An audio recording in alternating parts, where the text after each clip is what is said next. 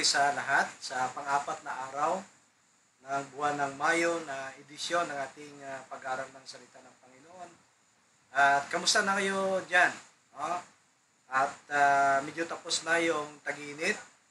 At dito sa aming lugar ay maranasan na ang ah, pagbubugso ng malakas na ulan. At ah, sana po ay ah, ma- mahugasan na yung ating mga kalsada mula sa mga germs, lalo na sa COVID-19. At narito tayo ngayon sa ating ah, next na segment ng ating pag-aaral, Internet at Kape. Kasama ni Pastor ah, John, John Agan ay ah, nagkakape. Magkakape tayo, no? Ah, please join us. Okay, tos. At ah, habang nagkakape tayo, mga kapatid, ay ah, patuloy tayo na mag-aral sa dispensational study of the Bible na tinatawag God's Plan of Ages. Ang huling ah, leksyon natin sa nakaraan, nakaraang biyernes, ay ang dispensation of the promise.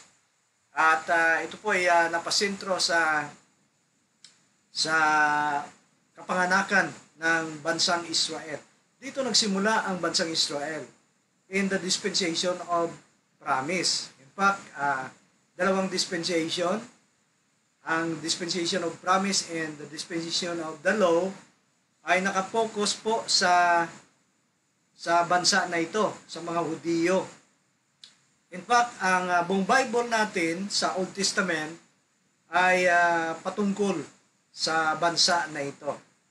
So, sapagkat sila po ang bansa na na pinili ng Diyos noong panahon na yon sa lumang tipan, no? At ang ito lang ang bansa na kung saan ang kanilang history ay ah, nagawa na. Hindi pa nagtapos ang ang panahon, ngunit nakasulat ng kanilang history na nasa Bible. Lalo na ang ah, patungkol sa tribulation period at ah, patungkol sa isang libong taon. Yun po ay ah, patungkol sa bansang Israel na muli sila ay pagbibigyan ng Panginoon ng pansin. At ngayong ah, umaga, I mean hapon, ay ah, ang topiko nating talakayin is ah, the dispensation of the law. Okay? At unang-una mga kapatid, ating talakayin ay yaong katanungan na nakalagay dyan. No? Ah, bakit kaya ito tinawag na dispensation of the law? Okay?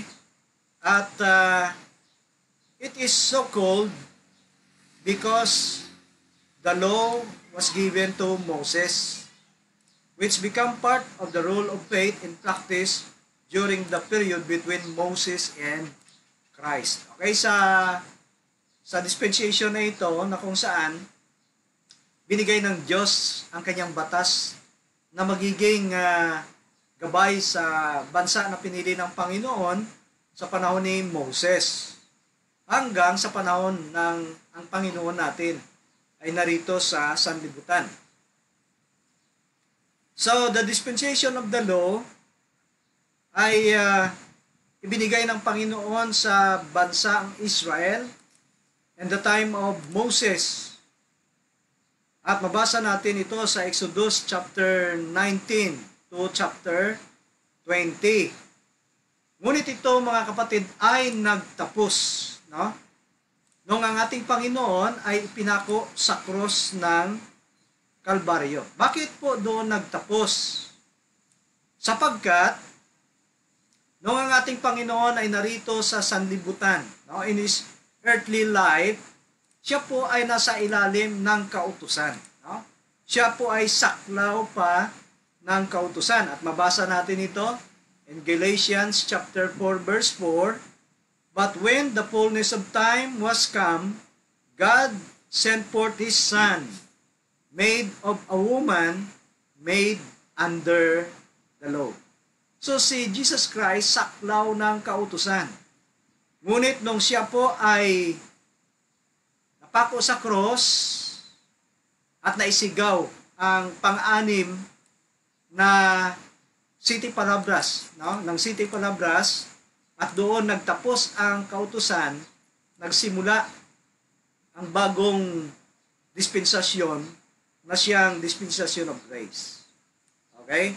Dito po sa Westminster Confession, mayroong tatlong kategory ang kautusan ni Moses o yung tinatawag na Mosaic Law. Tatlong division ang kautusan na ito na binigay ng Panginoon sa kanya.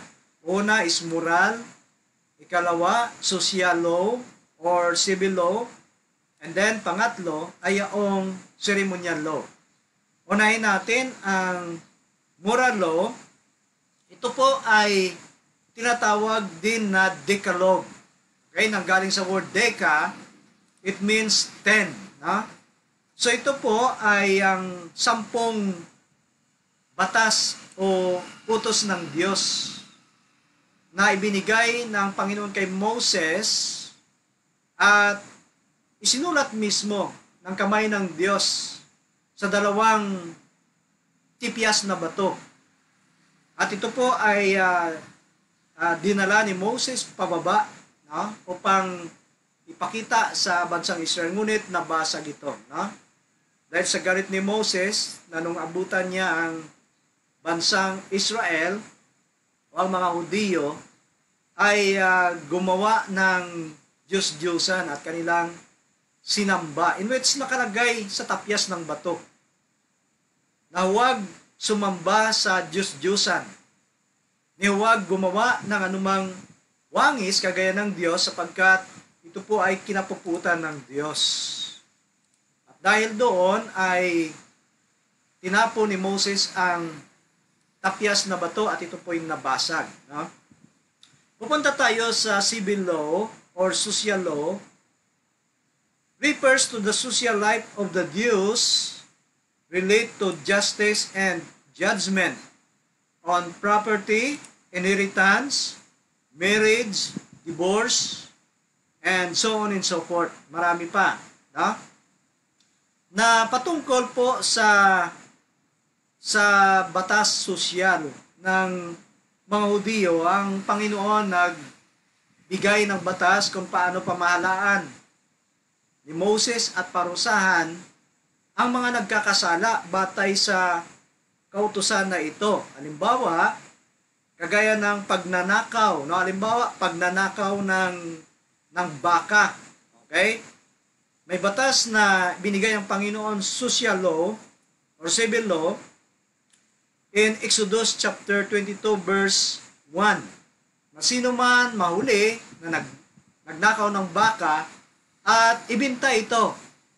Ayon sa batas na binigay ng Panginoon, kailangan papalitan niya ito ng limang baka. No? And then, na uh, batas din na patungkol sa paghihiram ng property, kagaya ng halimbawa baka, na hiniram at ito po ay namatay, hindi sinadya. Mayroong batas dyan. No? At kung ito po ay pinalo at namatay, mayroong batas dyan. Then sa ilalim din ng batas na yan, social, patungkol sa rape. No? Nakakalagay din dyan sa Bible na halimbawa, ang uh, ang uh, pagagahasa o I mean itong itong itong uh, rape ay uh, ginawa doon sa bundok na walang kapitbahay. Okay, mayroong batas kung paano siya paparusahan. Ngunit kung ito po ay ginawa sa malapit sa mga uh, kabahayan at ang babae ay hindi lang man nagsigaw. No? So mayroon din batas diyan. At mayroon din batas patungkol sa pagbabawal sa pag-asawa ng mga mga may uh, malapit pa na mga kamag-anak. No? Pinagbabawal yan ng batas dito. Dito sa batas na ito na na inilagay patungkol sa batas ng tooth for a tooth, no?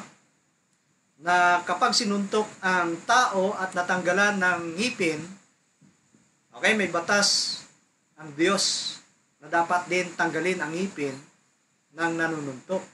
So we have the law which is called tooth for a tooth and then eye for an eye. Okay? So pupunta tayo sa pangatlong kategory ng batas na ito is the ceremonial law. Ceremonial law dealing with forms of worshiping God and prescribing the ceremonies and ritual. At ang batas na ito ay patungkol kung paano i-approach ang God, no? ang Panginoon, sa pamagitan ng mga sacrifices at saka burn offering upang sa gayon tanggapin ng Diyos ang kanilang pagsamba. Sa panahon na ni Moses, hindi lang basta-basta papasok ang tao sa templo at magsamba sa Diyos. Mayroong requirements ang Panginoon ayon sa batas na kanyang iniwan kay Moses na na dapat tuwing sila magpunta sa templo, dadala sila ng hayop kagaya ng karnero, kaya kalapati, upang ito po ay papatayin na sa pamagitan ng kanyang dugo, tanggapin ang kanilang paglapit sa Diyos. Ngunit kung walang dugo o walang uh, walang kapahayagan ng dugo o hindi sinunod ang batas na ito, hindi tanggapin ng Diyos ang kanilang pagsamba. Okay? Ngayon pupunta na tayo sa the components of the dispensation of the law. Ito po ang ating outline sa bawat dispensasyon Okay? At uh, dadagdagan natin sa pamagitan ng pagbibigay ng mga components o nilalaman sa dispensasyon na ito. Unang-una ay yaong steward, no? Sino-sino ang mga binigyan ng batas na ito? Sapagkat mahalaga ito sa ating pagtatalakay kung sino ang recipient, no? Para kay sino ang dispensasyon na ito. Okay, so ang steward is Moses and the children Israel as a nation at Mount Sinai. Okay, pag-aralan natin yan mamaya. At ang period nito mga kapatid ay mula sa Mount Sinai until Christ Jesus fulfilled the law upon His death. Okay? At ito po ay uh, nagtatapos nung ang ating Panginoong Yesus ay nagsigaw ng ika-anim na nilalaman ng siyete palabras habang ang Panginoon natin nakabayubay sa cross ng Kalbaryo, siya nagsigaw sa original na lingwahe tetelestiai ng kanyang kahulugan mission accomplished. No? Ang kanyang mission ay natapos na nung isigaw niya yung salitang yon. Na dito po sa Matthew chapter 5 verse 17, ito ang sinabi ng Panginoon natin habang siya ay narito pa sa lupa, na ganito, huwag ninyong isipin, ako'y naparito upang sirain ang kautusan o ang mga propeta Ako'y naparito hindi upang sirain, kundi upang ganapin. Okay, look at that, no?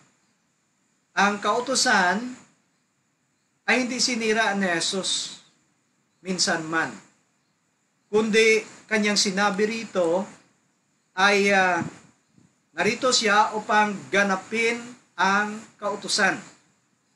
At habang doon sa cross ng Kalbaryo, ay kanyang na-pronounce naganap na. No? It is finished. Okay?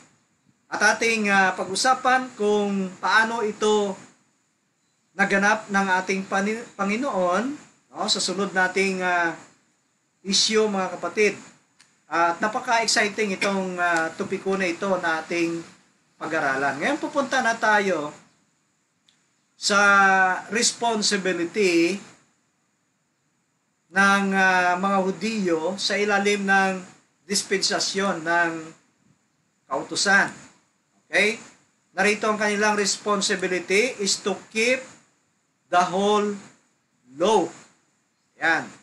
At yan po ay nakasulat sa Exodus chapter 19 verse 3 to verse 8. Okay? Pupunta tayo ngayon sa the failure of the Jews under the dispensation of the law. What is their failure? Mabasa natin sa 2 Kings chapter 17 verse 7 to verse 20 that the law was broken by the Jews. Now, dito natin mapapatunayan kahit saang bahagi ng dispensasyon ng tao is always a failure. No? In general, na hindi tinutupad ng tao kung ano ang nais ng Diyos na gaganapin sa bawat dispensation. Meaning to say, nilabag ito ng mga Hudiyo. At nilabag, nilabag ito ng mga mga leader ng reliyon maging sa kapanahunan ni Moses. Kaya ito po ay nagresulta ng pangatlong uh, outline natin is the judgment of God. Ano ang parusa ng Diyos sapagkat hindi nila sinunod ito? Na samantala, itong kautosan na binigay ng Panginoon sa kanila ay mag-aaser patungo sa pagdating ng ating Panginoon bilang katuparan ng kanilang paulit-ulit na pagsunod at pagganap ng kautusan doon sa templo. Ha? So sapagkat hindi na nila ginaganap, tinanggihan din nila ang ating Panginoon nung siya ay dumating bilang siya ang pinaka ka fulfillment ng kautusan na ito sa pamagitan ng kamatayan sa cross, yaong kanilang paulit-ulit na pagpatay ng karnero ay gaganapin ng Panginoon natin once and for all. So sapagkat nireject nila ito mga kapatid, here comes the judgment. At anong ginawa ng Panginoon? A worldwide dispersion of the Jews. Babasahin natin in Deuteronomy chapter 28 verse 63 to verse 66. Pero medyo mahaba ito kapatid na. Atin na lang babasahin ang Luke chapter 21 verse 20 to 24. Okay, itong nakasulat. Kung uh, magkagayoy, ang mga nasa Hudiya ay magsitakas sa mga bundok at ang mga nasa loob ng bayan ay magsilabas at ang mga nasa parang ay huwag magsipasok sa bayan. Verse 24. At sila ay mga buwal sa pamagitan ng talim ng tabak at dadalhing bihag sa lahat ng mga bansa at yuyurakan ang Jerusalem ng mga hintil hanggang sa matupad ang mga panahon ng mga hintil. Ito po ay prophecy ng ating Panginoon dahil sa katigasan ng ulo ng bansang Hudiyo. No? Ang Panginoon natin ay nag nag-prophesy na sila po ay paparusahan sa pamagitan ng pangangalat kapag dumating na ang kapanahunan ng mga hintil. At ito po sa kapanahunan natin na naganap noong uh, 70 AD. Okay? Matapos nila tinakwil ang Panginoon pinako sa cross, kanilang tinanggap ang parusa na pinadala ng Panginoon. At ito po ang pag uh, pag-atake ng kanilang bansa, lalo na ang Jerusalem na winasak ni uh, General Titus 70 AD. Okay? At mula noon, ang mga Hudiyo ay nagsikalat mga kapatid. No? Sa iba't ibang bansa ay mayroong mga Hudiyo hanggang dumating ang takdang panahon at ngayon na na sila po'y unti-unti na umiipon sa kanilang piniling bansa o sa kanilang bansa na Israel. At kapag sila po ay makumplito na, then God will, or Jesus will come again. No? Okay, nais ko lang uh, linawin ang patungkol sa kautusan na ito mga kapatid na dapat natin maintindihan. No? Ang ang uh, kautusan na ito mga kapatid. Unang-una na dapat maintindihan natin, no? Kailangan na malaman natin na itong kautusan ni Moses ay ibinigay lamang sa bansang Israel. Binigay lamang ito sa mga Hudiyo at hindi para sa mga hintil. Mabasa natin ito in Exodus chapter 19 verse 3 to verse 6. Okay? At sinabi ni Moses, o at si Moses ay lumapit sa Diyos at tinawag ng Panginoon siya mula sa bundok at sinabi, ganito mo sasabihin sa sambahayan ni, da, ni Jacob. Ibig sabihin, Israel. Na? At saysayin sa mga anak ni Israel. Verse 5, Kaya ngayon, kung tunay na iyong susunduin, o susundin, I'm sorry po, ang aking tinig at iingatan ang aking tipan, ay magiging isang tanging kayamanan nga kayo sa akin. Nahigit kaysa lahat ng bayan. Verse 6. At kayo'y maging isang kaharian ng mga saserdote sa akin. At isang banal na bansa, ito ang mga salita na iyong sasalitain sa mga anak ni Israel. Tingnan niyo mga kapatid, no? Itong word sa sambahayan ni Jacob. Isa sa mga pangalan ni Jacob na binigay ng Panginoon is Israel. Meaning to say, Prince of God. No? Mula sa pangalang Jacob ng kahulugan, manluloko. Okay? God bless him at pinalitan ang kanyang pangalan Israel. At itong uh, kautosan ni Moses ay uh, binigay para sa kanila. At binanggit ang salita dito sa mga anak ni Israel. Isa pang bersikulo mga kapatid na tumutukoy din dito sa puntong ito is in Deuteronomy chapter 5 verse 1 to verse 3. At tinawag ni Moses ang buong Israel at sa kanila sinabi, Dinggin mo, O Israel, ang mga panutuntunan at mga kahatulan ng aking salita sa iyong pakinig sa araw na ito, upang matutunan ninyo sila at ingatan at isagawa sila. Verse 2, Ang Panginoon ating Diyos makipagtipan sa atin sa Horeb. Verse 3, hindi pinagtibay ng Panginoon ang tipang ito sa ating mga magulang, kundi sa atin. Sa atin nga naritong lahat na buhay sa araw na ito. Kaya mga kapatid, ito po ay para sa bansang Israel sapagkat sinabi dito ni Moses, Dinggin mo, O Israel. Isa pang bersikulo in Deuteronomy chapter 4 verse 8. At anong dakilang bansa nga ang may mga palatuntunan at mga kahatulan napakatuwid na gaya ng buong kautusang ito na aking inilagda sa harap ninyo sa araw na ito. Okay?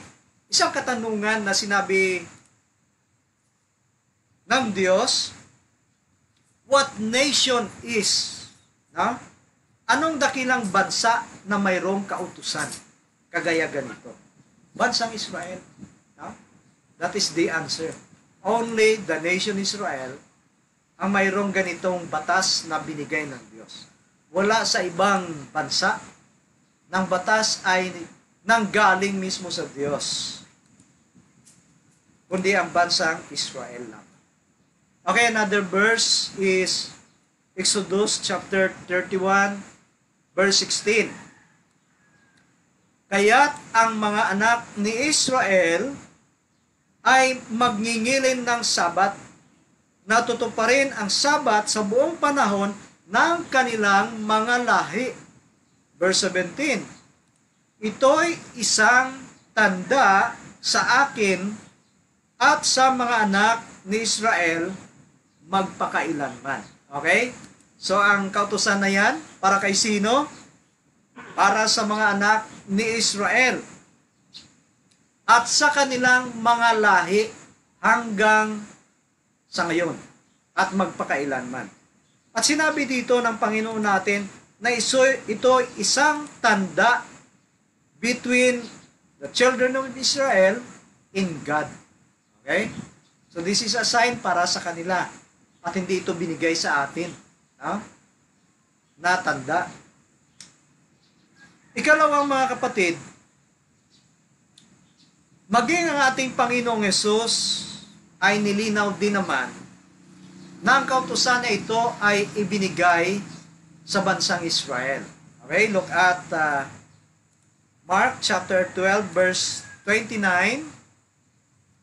And Jesus answered him, The first of all the commandments is, Hear, O Israel, the Lord our God is one Lord. Kay sino binigkas ang mga kautosan na ito? Sinabi ng ating Panginoong Yesus na ang makinig ay ang bansang Israel, mga Hudiyo. Ikatlo mga kapatid, maging si Apostol Pablo ay nagsalita rin naman na ang mga batas ay ibinigay ng Diyos sa bansang Israel at hindi sa mga hintil, mga. Ha? Hindi sa mga hintil, hindi para sa panahon ng iglesia. Mabasa natin sa Romans chapter 2 verse 14. Ganito ang sinabi ni Pablo, For when the Gentiles which have not the law. Okay? So, ang mga hintil ay walang kautusan na ibinigay ng Diyos para sa atin. Ang sampung kautusan, hindi para yan sa hintil. At isang bersikulo pa, Roma 6, bersikulo 14, sinabi ni Pablo, We are no longer the law, no? sapagkat kanyang sinabi, For sin shall have not dominion over you. For ye are not under the law, but under grace. Okay, malinaw yan mga kapatid, no? malinaw na malinaw na tayo po ay hindi sa panahon ng kautusan. Kundi tayo ngayon sa panahon ng biyaya. Yan ang ating magiging next na dispensasyon na ating pag-usapan ang ating kapanahunan. Pero itong kautusan, mga kapatid, malinaw na sinabi ni Pablo that we are no longer under the law. Bakit po pipilitin ng mga katuruan o tagapagturo na ito po ay uh, pagsikapan na tuparin sa ating kapanahunan sa ngayon. Mayroong mga paniniwala at katuruan that they are implementing the law to their members. No? Kanilang pinipilit na ito ay dapat tutuparin ng kanilang mga tagasunod. Mga kaibigan at mga kapatid, tandaan ninyo na once ito po ay ipapatupad natin sa bansang Pilipinas, no? Kapag sinunod natin ito o kaya ipapatupad natin ito sa bansang Pilipinas, sasabihin ko sa inyo maraming mamamatay. Bakit po? Ha? Kasi ang ang kautusan ng Panginoon ay sundin, dapat sundin ayon sa kanyang uh, pagtuturo o ayon sa nakasulat, no? Na sinabi ng Biblia na kapag ipinatupad ang kautusan, maraming bawal na dapat susundin. Kung hindi, nangahulugan ito ng parusa at ang parusa ay kamatayan, no? Bawal ang pagdampot ng maging ang pagdampot ng kahoy upang magsaing, no? Bawal ang mag drive ng sasakyan sa araw ng Sabat sapagkat yun ay gawa din. Bawal magluto. Bawal maghugas ng pinggan. No? Sapagkat sinabi ng Exodus chapter 31 verse 15, tingnan niyo mga kapatid, anim na araw na gagawin ang gawain. Datapwat, ang ikapitong araw ay sabat na takdang kapahingahan, pagngingilin sa Panginoon. Sino mang gumawa ng anumang gawa sa araw ng sabat ay walang pagsalang papatayin. At ito mga kaibigan, mga kapatid, sa pamagitan ng pagbabato. Kaya sinabi ko sa inyo na kapag pilitin natin na implementar yan sa ating kapanahunan, maraming mapapatay. No? Maraming babatuhin. Pero bakit hindi pwede ipapatupad kasi hindi para sa atin ang batas na yan. Tama po? Okay. Pupunta tayo sa sunod na clarification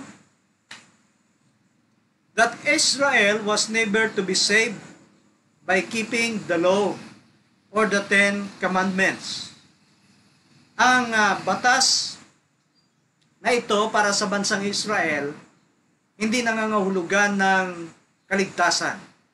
Mga kaibigan, mga kapatid, walang kaligtasan sa sampung kautusan ni Moses. Look at Romans chapter 3 verse 20. Sapagkat sa pamagitan ng mga gawa ng kautusan ay walang laman na aariing ganap sa paningin niya. Sapagkat sa pamagitan ng kautusan ay ang pagkakikilala ng kasalanan. Okay, malinaw yan sa sinabi ni Pablo na kanyang sinabi, By the deeds of the law, there shall no place be justified. Okay? Hindi tayo maabswelto sa pamagitan ng pagsunod ng batas ng kautusan ni Moses. Na? Ang tao ay patuloy pa rin makasalanan. Hindi siya maging malinis sa pamagitan ng paggawa ng kautusan. And therefore, hindi makapasok sa langit. Kasi ang langit ay isang malinis na lugar. No? Para yon sa mga banal na nilinis ng dugo ng ating Panginoong Isus at hindi sa pagganap ng mga kautusan ni Moses. Okay, another clarification. Sa versikulo 10 ni Santiago, okay, James chapter 2 verse 10, For whosoever ever shall keep the whole law and yet offended in one point is guilty of all. Okay? Sinabi ni James sa kanyang mga sulat na mahirap natin ganapin ang sampung kautusan kapag sapagkat sinabi niya na nagawa man natin ang siyam ngunit kung mayroong isa na nakaligtaan natin sa buong araw. O kaya sa isang buwan. No? Na nagkasala tayo, putol ang lahat ng ating uh, pinapanaligan na siyang magiging paraan ng ating kaligtasan. Kumbaga, ang ibig sabihin ni James dito po sa kanyang bersikulo, parang isang ilustrasyon na kung ang kaligtasan natin ay kagaya ng sampung kadina. No? At sa ilalim ay impyerno or apoy. At ang kaligtasan ay sa pamagitan ng pagbitin sa sampung, anong tawag doon, cluster ng kadina, kahit isa lang ang maputol doon, hulog ka pa rin. No? Lalo na kung lima, okay? Lalo na kung anim, talagang malabo na magkaroon ng kaligtasan sa pamagitan ng sampung kautusan. In fact, no, dito po sa tunay na pangyayari nung ang ating Panginoon ay nagtuturo sa kanyang kapanahunan. Mayroong lumapit sa kanya ng isang pinuno. Okay, babasahin ko sa inyo ang Luke chapter 18 verse 18 to verse 22. Okay, babasahin ko rito.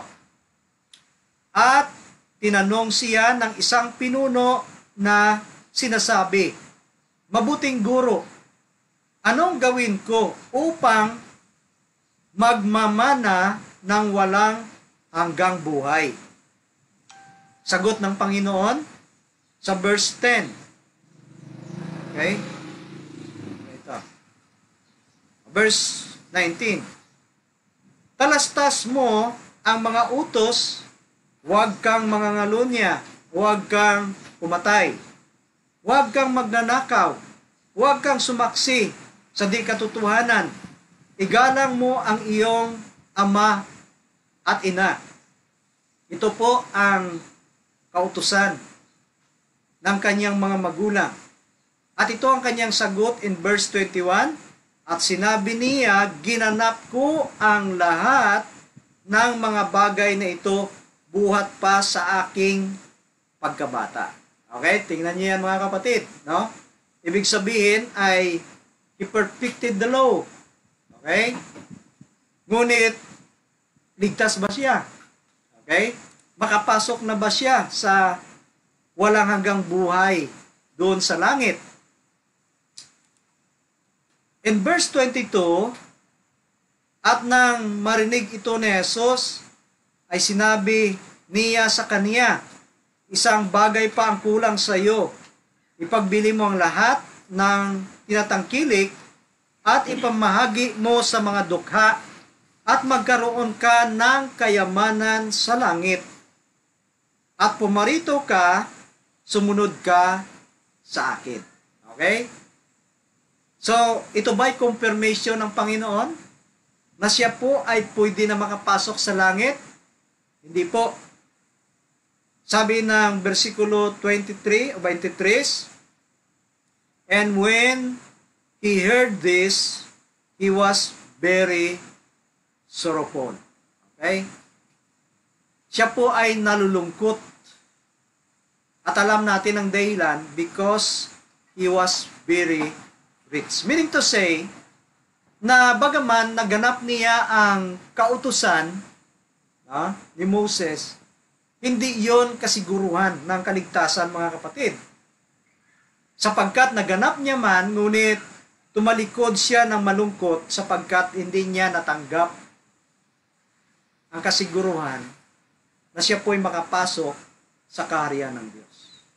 At nung siya ay tumalikod, sinabi ng Panginoon, na mas mabuti pa sa kamilyo na makapasok sa butas ng karayom kaysa makaakyat o makapasok sa karya ng langit. Meaning to say, yung binata na yun nagtalikod na hindi niya natanggap ang kasiguruhan ng kaligtasan kahit na natupad niya ang kautusan.